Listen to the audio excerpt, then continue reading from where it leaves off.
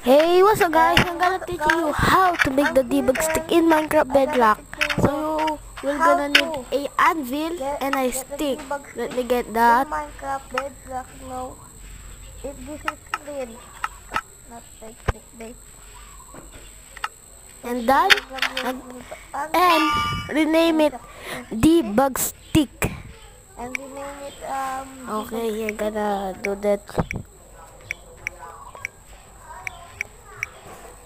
It, this is not fake clickbait, guys.